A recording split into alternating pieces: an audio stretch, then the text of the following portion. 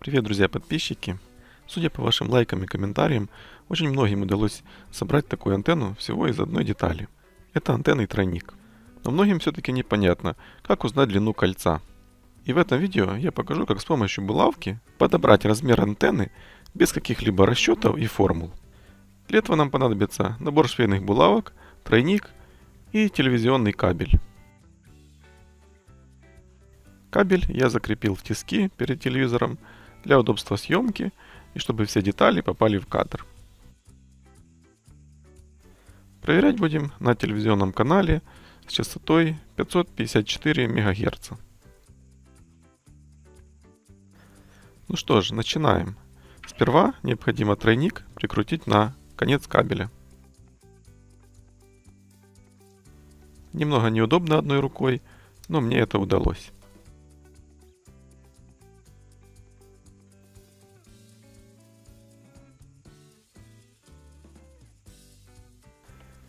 Теперь берем обычную швейную булавку из набора.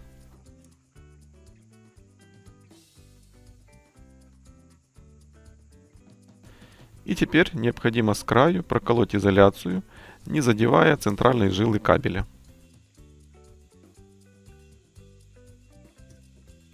Проколы необходимо выполнить в разных местах кабеля, что я сейчас и сделаю. Расстояние между булавками примерно 10-15 сантиметров. И сделаем еще один прокол на самом большом расстоянии от конца кабеля.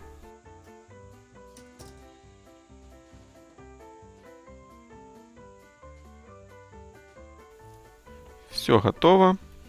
Вот так это выглядит сблизка. Три булавки, каждая примерно 10-15 сантиметров друг от друга.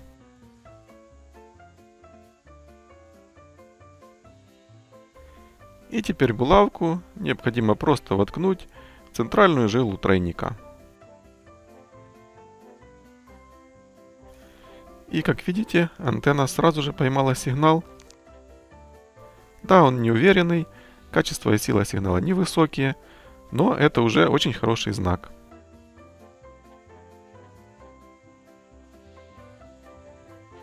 Это значит, что мы можем дальше экспериментировать и с помощью булавки подобрать оптимальный размер антенны.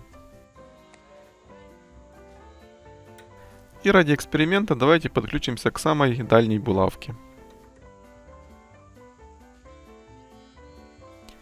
И как видите сигнала нет. А это значит, что такой размер не является оптимальным для данной антенны и для дальней, данной частоты сигнала.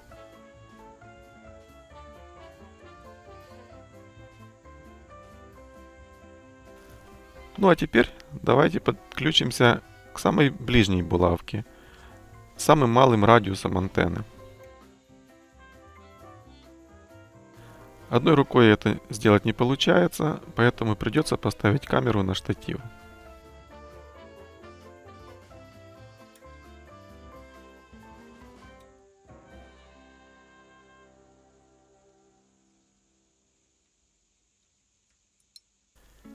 И как видим, снова нет сигнала. Значит и этот размер антенны не является оптимальным.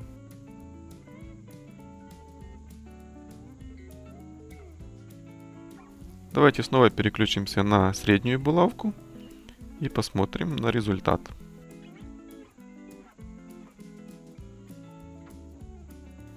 И результат у нас отличный. Качество сигнала поднялось до 100%, но все-таки прием не очень уверенный.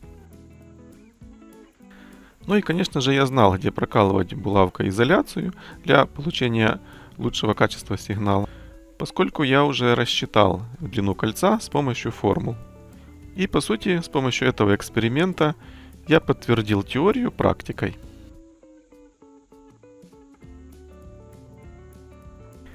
И давайте ради интереса сделаем еще один прокол между второй и третьей булавкой.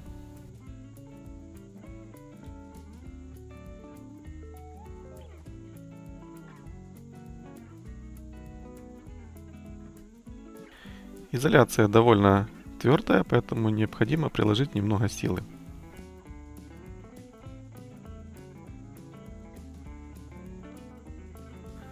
Вот так это сейчас выглядит.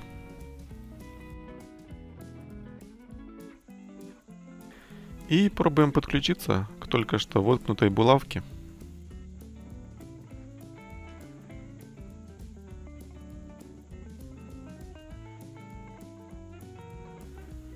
Кажется, сигнал стал немного хуже, а это значит, что вторая булавка находится в более правильном месте.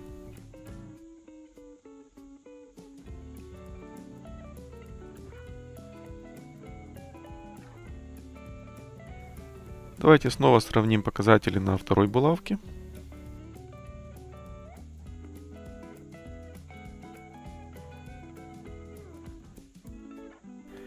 И снова убеждаемся, что это положение является одним из самых лучших в нашем эксперименте.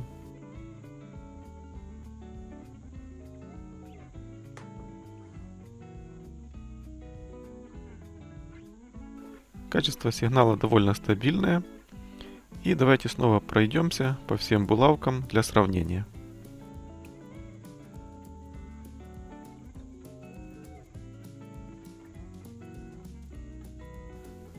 Третья булавка также показывает неплохой результат, но предыдущие тесты были чуть-чуть хуже.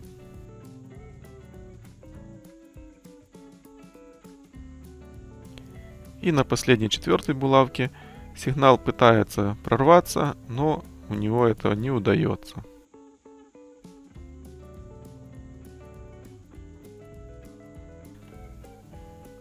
Та же самая картина наблюдается и на первой булавке.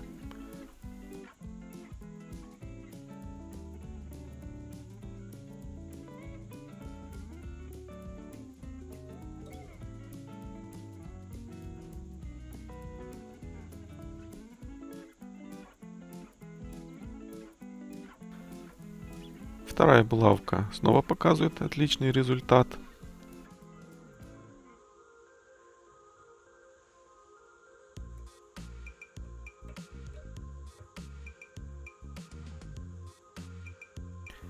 Ну и третья булавка также неплохо. А это значит, что длина окружности антенны может варьироваться плюс-минус 3-4 сантиметра. Поэтому это не очень критично если вы отрежете лишний сантиметр или добавите к длине антенны.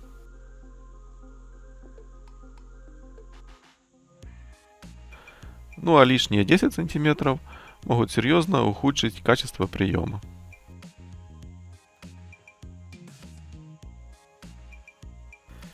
Таким образом, вы можете экспериментально узнать оптимальный размер вашей антенны и ваш, для вашего региона и никакие формулы вам не понадобятся. Далее можно сделать антенну надежной с помощью телевизионного тройника.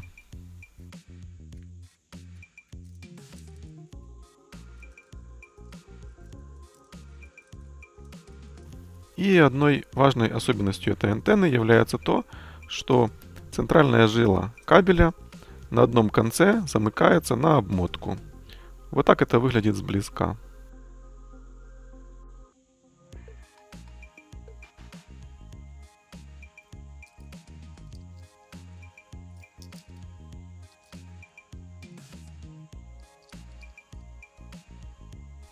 Антенна собирается и разбирается очень легко, поэтому вы можете экспериментировать, как ваша душа пожелает.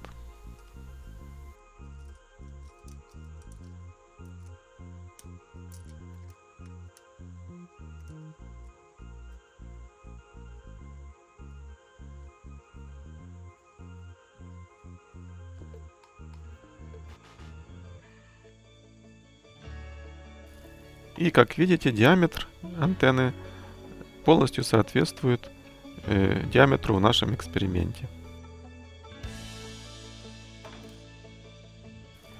И давайте сейчас ее подключим для сравнения.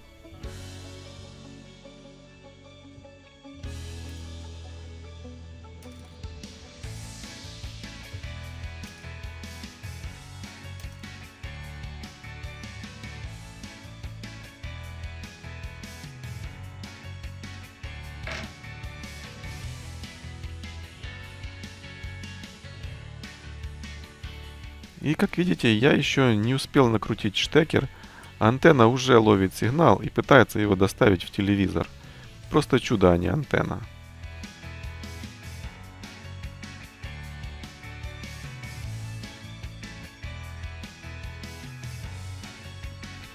Ну а сейчас пару минут для тех, кто все-таки желает узнать, как рассчитать длину этой антенны. Сколько же сантиметров кабеля необходимо взять? И теория нам говорит, что длина антенны должна быть равна длине волны и рассчитывается по такой формуле. C это скорость света, F частота сигнала, K это коэффициент укорочения кабеля или velocity factor. Этот коэффициент берется из таблицы для каждого кабеля индивидуально. Поставив все значения в формулу, мы получаем длину антенны 45 см. Вот таким способом можно легко рассчитать длину данной антенны. Процесс изготовления этой антенны очень простой, я уже неоднократно его показывал в своих видео. И надеюсь, что это видео поможет вам еще быстрее и проще собрать эту антенну. Надеюсь, вам понравилось это видео. Буду рад читать ваши комментарии про опыт сборки и применения этой антенны. Возможно, они также помогут другим зрителям. И на этом все. Желаю всем хороших идей. Пока-пока.